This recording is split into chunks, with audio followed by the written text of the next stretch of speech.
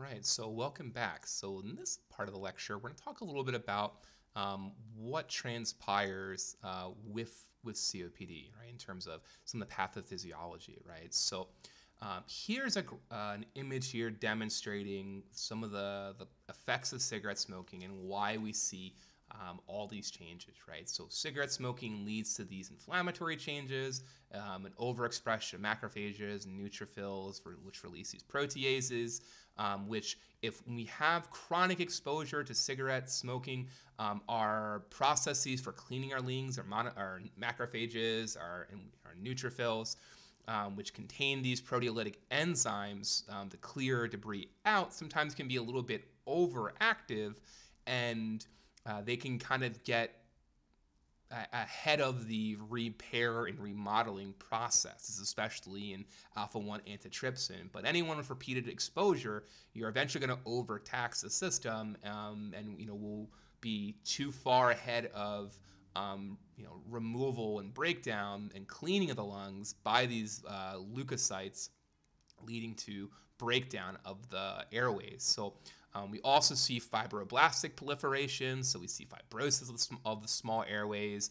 Um, we also see um, alveolar uh, wall destruction, and then we see this mucus hypersecretion. Again, just think, you know, especially with smoking being a top cause, if you're repeatedly exposing your lungs to a particulate um, or a noxious gas, it's going to cause problems. We are able to tolerate a little bit of, you know, dust in the air and stuff like that, but repeated exposures really start running into problems.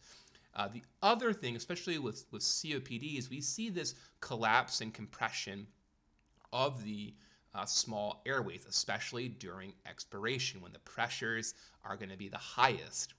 Typically, our airways um, have the ability for the lung, for the airways to stay open during expiration. There's going to be, you know, a, a greater pressure um, placed upon them, but because the airways are so flimsy, um, we see a reduction in the flow out of the lungs because of these fibrosis, the breakdown of the airways become flimsier, they become weaker,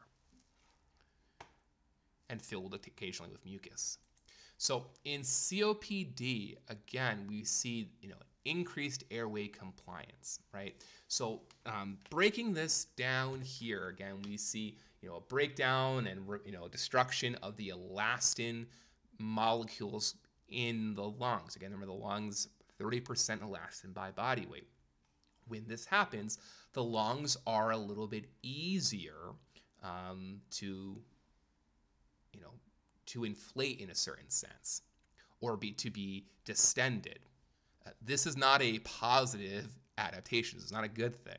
Okay, uh, you know, this leads to a hyperinflation of the lungs, and it's kind of twofold. Uh, one, we talked about how the you know the alveolar ducts get compressed during expiration because they lose some of the the structure um, to the airways. They get broken down, um, so air remains trapped in the alveoli. The other is due to the re reduction in elastin, or the breakdown in elastin, we have reduced elastic recoil uh, pressure in the lungs, meaning that that opposing force. Remember, we talked about the lungs. If we draw, you know, our head here, our lungs, right? And the chest wall. Chest wall wants to pull this way. Lungs want to pull this way towards the body. We'll draw a little, you know, face. Okay?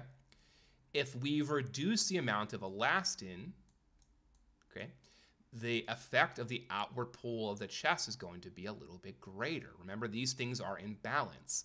What that's what that will cause is the chest wall to expand, right? Because we've shifted that force coupling. Remember, at the end of expiration or at the FRC, the inward pull, okay, the inward pull of the lungs and the outward pull of the chest wall are at equilibrium. They're balanced, right? Which creates that whole negative pressure in the pleura. We don't need to go back over that.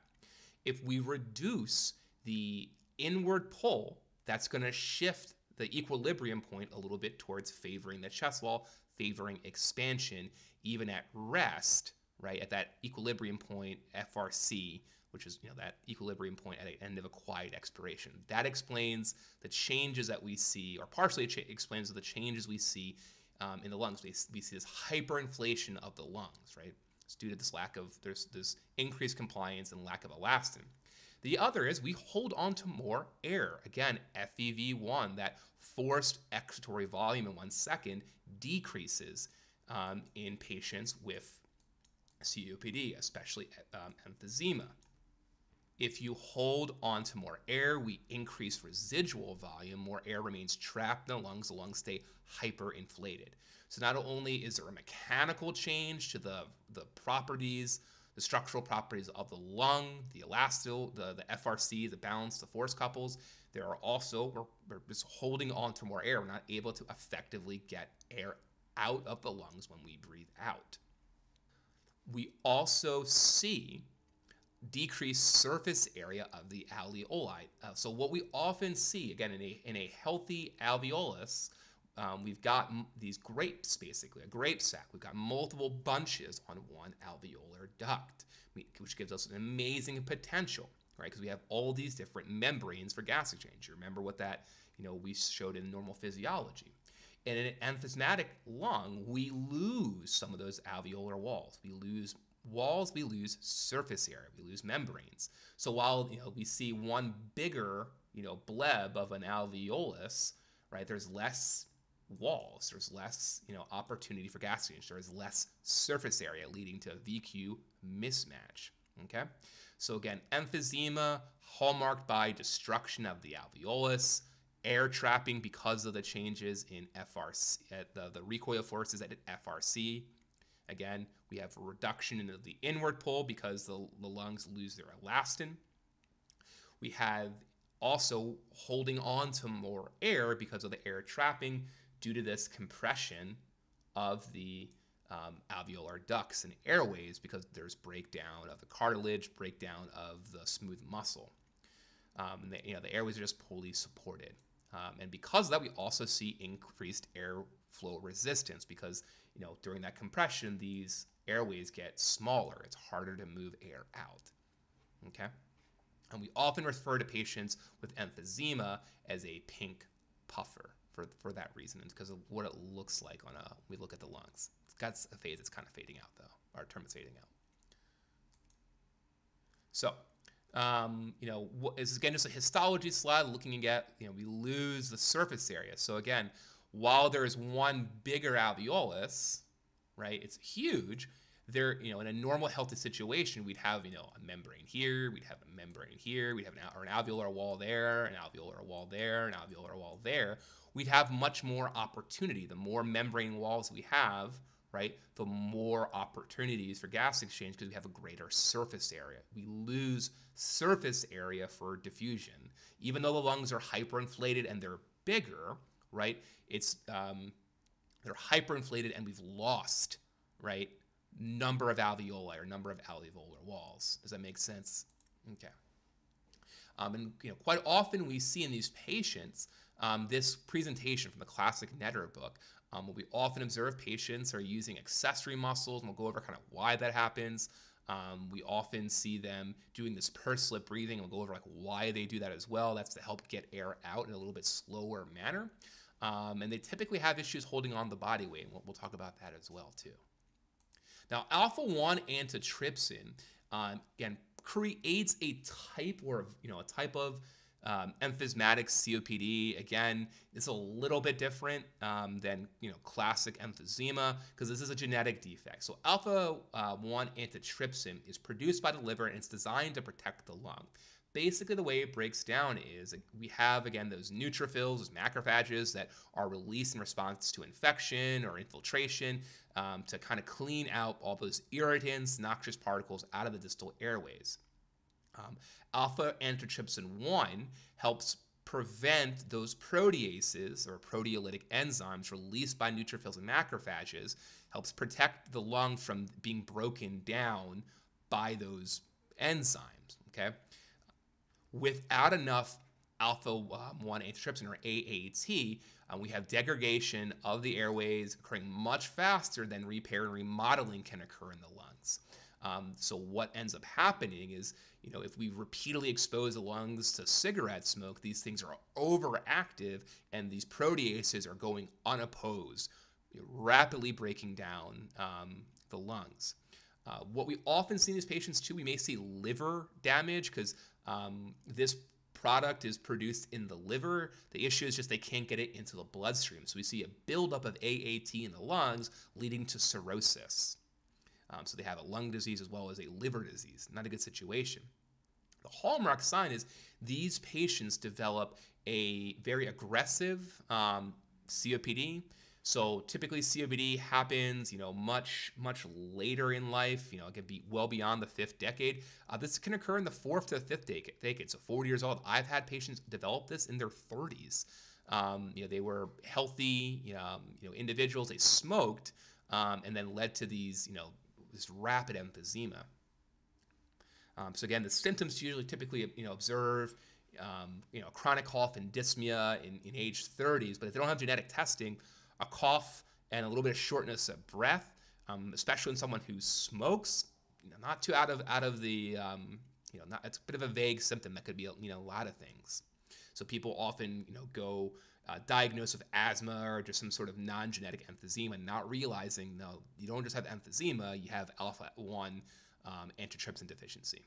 And again, they'll develop the same um, pattern on a PFT, this obstructive defect, significant reduction in the FEV1, but it's due to a much different, much more aggressive pathophysiological manifestation.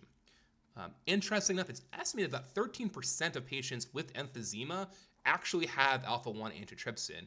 Uh, it's something that we're trying to get a little bit more uh, ahead of. There's better testing now for it in kids. Uh, we're more aware of it. It's actually one of the leading causes of liver disease, um, or is the leading cause of, or genetic cause of liver disease in children, uh, second only to uh, cystic fibrosis. Let me restate that actually. No, it's the second, it's the most common cause of um, genetic liver disease and is the uh, second uh, second leading genetic lung disease to CF. Not CF is not a the leading cause of liver disease in kids. Sorry about that. Now, chronic bronchitis um, is a type of COPD. It's a little bit different in terms of manifestation uh, than emphysema. Again, patients with COPD typically have a bit of both. They have a bit of alveolar wall destruction and you know flimsy airways. And they also have a little bit of chronic bronchitis which is submucosal gland hypertrophy. So they, their mucus glands those goblet cells are a little bit more um, you know thicker. They produce they're hyperactive. They produce a lot more mucus. And then we see obstruction in the airways due to bronchiectasis. We'll go over what that means in a little bit. Um, and atelectasis or small airway collapse due to this mucus. They just produce a lot of more thick mucus and their airways are just thickened. Now, looking at a histological slide, it's kind of what we observed. This, the, the base membranes, the, the, um, in, the airways, the, the airways are just much more thickened. It's an example here from the Netter book, just looking at um, kind of what we you know observe in the patient. They'll just always be coughing. Um, they won't, you know, patient with a primary chronic bronchitis might not be as um, uh, anorexic or cachectic as a patient with emphysema. Um, when we typically refer to these guys as blue blue bloaters, just because of the amount of uh, mucus they produce. Again, a term that's kind of being phased out. And um, we'll stop the lecture here, and in the next um, slides, we'll go over some of the uh, body system impairments and functional limitations that we often observe in patients with COPD. Thank you.